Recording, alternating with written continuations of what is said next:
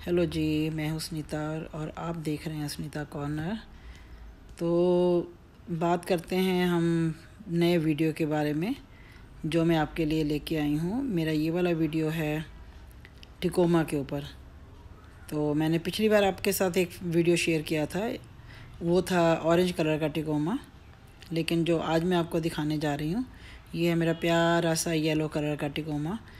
और ये मैं तीस रुपये का पौधा लेके आई थी, बहुत छोटा सा था। मेरे पुराने वाले फ्लैट में धूप कम आती थी तो उसमें, इसमें फूल भी कम आते थे। तो ये वाले फ्लैट में एकदम टॉप पे हैं। धूप जी के दर्शन बहुत अच्छे से होते हैं। और यहाँ हमारे फ्लैट में बहुत धूप आती है, सारा दिन धूप रहती है। तो अब ये भर भर के गुच्छों में फूल आ रहे हैं इसमें। ये देखिए कितने गुच्छे हैं इसके।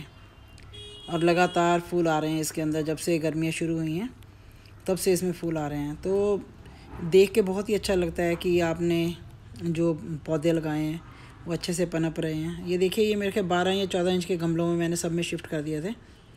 और मैं, इसमें मेरे कोई हार्ड एंड फास्ट रूल नहीं है बागवानी में। मैं अपना आराम से इनको देखभाल करती हूँ बहुत ज़्यादा भी इनके साथ नहीं लगी रहती। हाँ ये है कि समय समय पर गुड़ाई करते रहना चाहिए। खाद में तो मैं वर्मी कंपोस्ट और नीम खली ही डालती हूँ, यही दोनों खादें डालती हूँ, उसके अलावा मैं कुछ नहीं।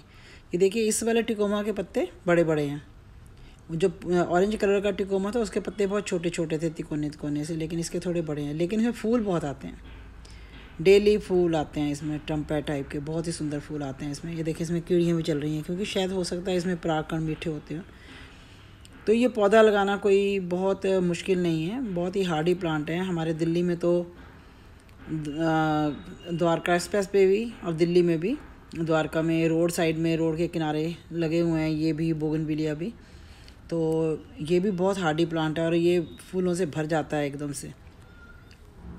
बाहर तो जब सड़क के किनारे ये लगा रहता है तो इतना इसमें फूल होते हैं कि पत्ते भी कई बार नज़र नहीं आते। तो बहुत ही सुंदर, ये तीन कलर में आता है। मेरे पास ऑरेंज और येलो है। मेरे पास पर्पल कलर में भी था, लेकिन उसमें फूल बहुत कम आते थे। इसलिए फिर मैंने वो वहाँ ग्रीन टावर में नीचे लगवा दिया था माली के पास। लेकिन इसमें तो मेरे बहुत ज़्यादा फूल आते हैं। अभी धूप क्योंकि बहुत मिल रही है तो फूल भी भर भर के आ रहे हैं। तो मैं बहुत खुश हूँ यहाँ पे क्योंकि मेरे पौधे बहुत अच्छे से पनप रहे हैं। मेरे पौधे अपनी खुशी ज़ाहिर कर रहे हैं। तो ये बहुत ही लगाना आसान है पौधा। नॉर्मल मिट्टी में लगाइए, इसमें खाद डालिए, वर्मी कंपोस्ट और नीम खली और आप देखिए आपको कितना अच्छा इसका मिलता है रिज़ल्ट।